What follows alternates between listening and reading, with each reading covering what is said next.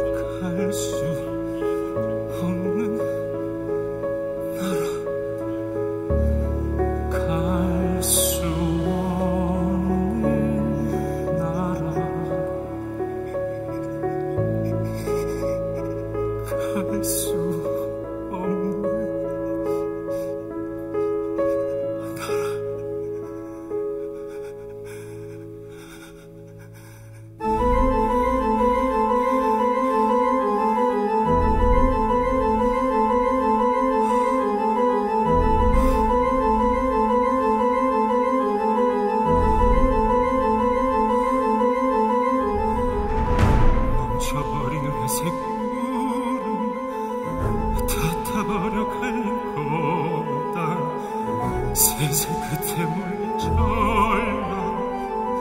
터져버린 불의 심장 의미 없이 끝난 죽음 부질없이 끝난 몽골이 마지막 한 서린 터고 신이 버린 땅, 신이 버린 땅, 열리지가 않는 주지 않는 산가들, 건너갈 수 없는 강물, 끝도 없이 깊은 바다, 대답 없이 끝난 절벽, 부질 없이 흘린 피, 세상 뒤덮인 도 세상 끝난 날 세상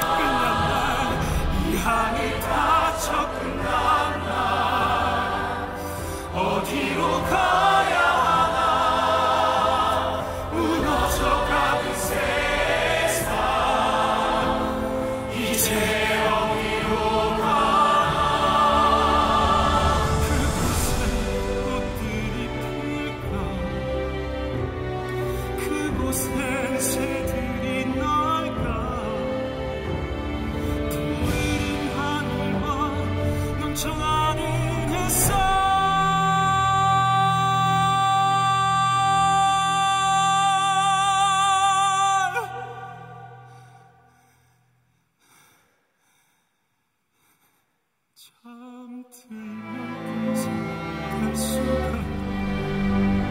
그 영생